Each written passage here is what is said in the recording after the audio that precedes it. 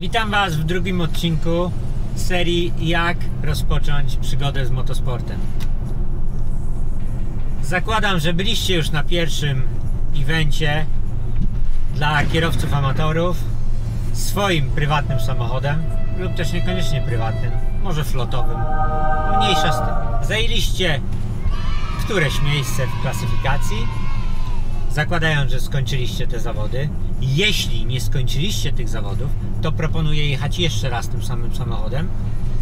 Najlepiej na te same zawody, bo będziecie znali już swoje błędy i spróbujcie je po prostu skończyć, czyli dojedźcie do końca. Jeśli już byliście na tych zawodach, jechaliście, dojechaliście do mety, znacie swoje miejsce w szeregu. Wiecie też, czy was to kręci, czy nie. Zróbmy więc kolejny krok. Kolejnym krokiem będzie wybór samochodu, jakim chcemy się ścigać. Ale nie będziemy wybierać marki tego samochodu, ani przedziału cenowego. Po prostu spróbujemy poznać Wasze preferencje. Chcielibyście jeździć w takich zawodach, w których uczestniczyliście ostatnio samochodem przednionapędowym, samochodem tylnonapędowym, a może macie troszeczkę większy budżet i chcielibyście się pościgać czteronapędówką.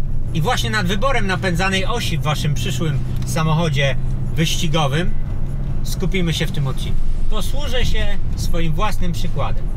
25 lat temu pierwsza moja impreza była samochodem seryjnym całkowicie.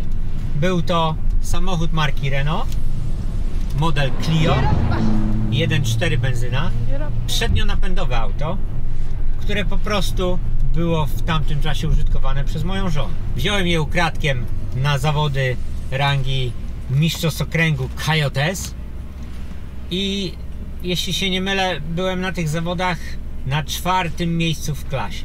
Ale to nieistotne. Chodzi o to, że poznałem preferencje przednionapędowego samochodu podczas jazdy między słupkami.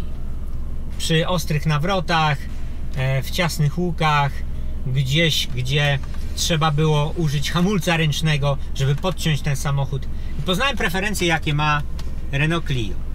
Stwierdziłem po tych zawodach, że fajnie się jeździ przednionapędowym samochodem, ale trochę mało mocy, może jakaś większa konkurencja by się przydała, e, żeby tym samochodem e, zaistnieć wśród 30 zawodników, a nie, jeśli nie mylę się, 8, które, którzy wtedy startowali w tych zawodach.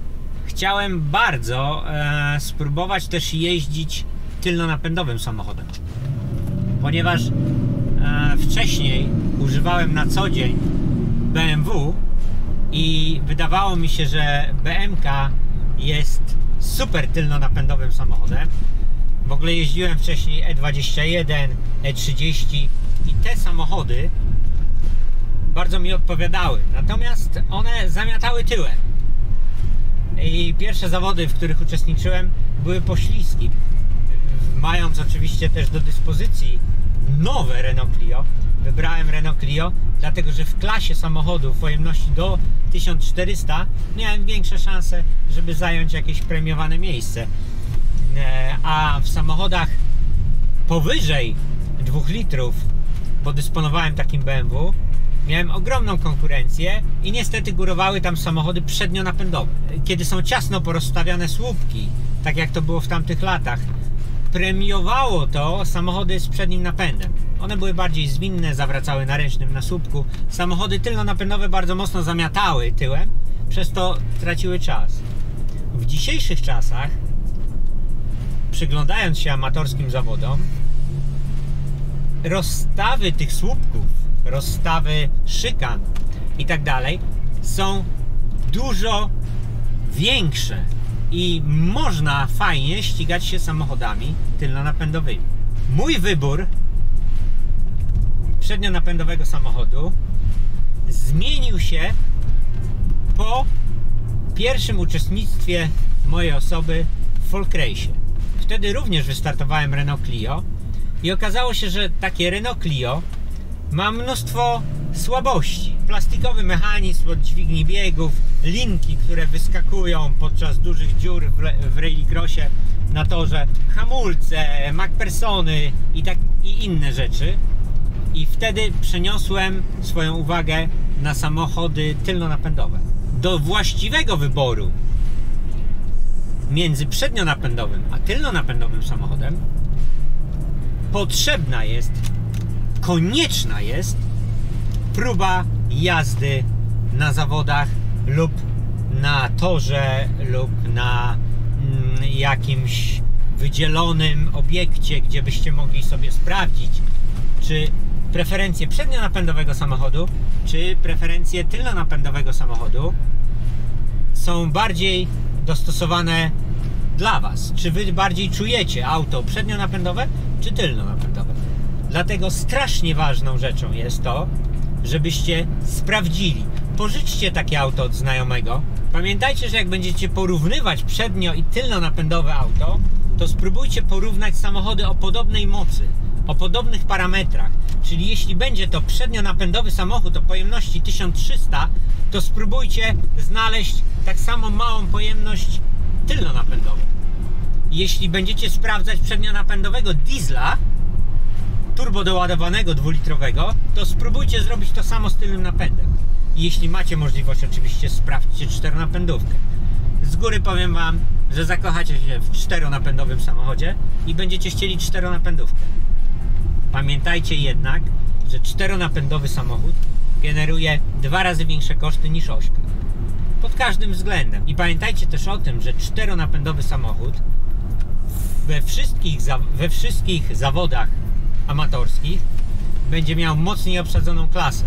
Czyli w tych klasach czteronapędowych aut będą przyjeżdżały Focusy RS, będą przyjeżdżały Lancery, będą przyjeżdżały Subaru, będą przyjeżdżały Toyoty Yaris GR, będą przyjeżdżały inne czteronapędowe samochody, które będą już wydłubane. Rzadko kto czteronapędowym samochodem seryjnym przyjeżdża na takie amatorskie zawody. Dużo większe szanse w osiągnięciu początkowego sukcesu będziecie mieli w samochodzie, który jest napędzany na jedną oś. Co mogę Wam zaproponować? Jeżeli wybierzecie któryś z napędów, niekoniecznie od razu kupujcie taki samochód. Spróbujcie zdobyć taki samochód, żeby przejechać nim zawody. Jeśli nie uda się zdobyć takiego auta na zawody, to próbujcie nim jeździć na co dzień. Wykorzystujcie możliwości tego auta, czyli hamujcie tak, żeby ABS-y zadziałały. Skręcajcie tak, żeby lekko zapiszczały opony. Róbcie to oczywiście bezpiecznie, nie róbcie tego w mieście. Róbcie to w miejscach, gdzie nie ma ludzi. Możecie jechać na track day, możecie jechać na różne tory, chociażby tor w Toruniu, na, po którym można pojeździć płacąc 20 zł. Za 20 zł można się dowiedzieć tak dużo na temat swoich preferencji co do napędu, że nie mieści Wam się nawet to w głowie.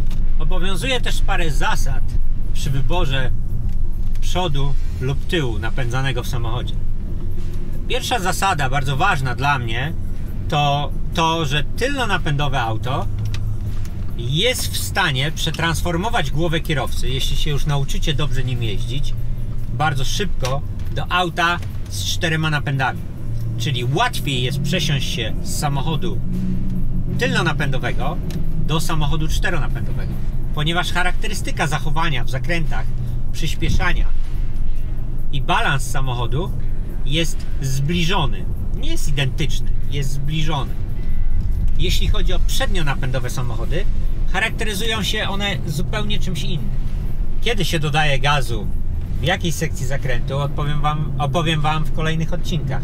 Natomiast teraz chciałbym, żebyście się skupili nad tym, jakie auto wybierzecie na przyszłość.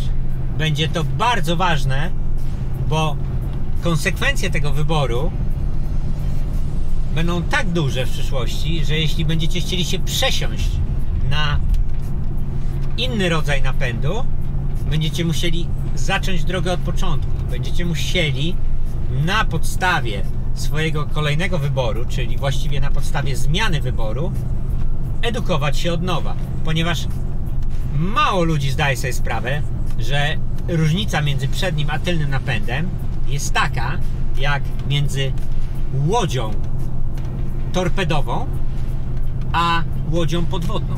Pokazuję Wam w tej chwili listę samochodów, które są najbardziej popularne w swoich układach napędów w Polsce w zawodach amatorskich. Jeśli natomiast chodzi o samochody z napędem na cztery koła, to ta lista jest do Waszej dyspozycji tutaj. Możemy przyjąć, że teraz będziecie szukali jednego z samochodów z listy. Oczywiście, jeśli nie będzie on z takim samym silnikiem jak na liście, czyli dwulitrowym 1.8 zamiast diesla benzyna, spróbujcie. Liczy się układ napędu. Preferencje co do silnika, czy ma być to turbo, czy ma być to wolno ssący silnik, czy może ma być to silnik Wankla, przedstawię Wam w kolejnym odcinku. Trzymajcie się, to mówiłem ja, Wicik. Cześć.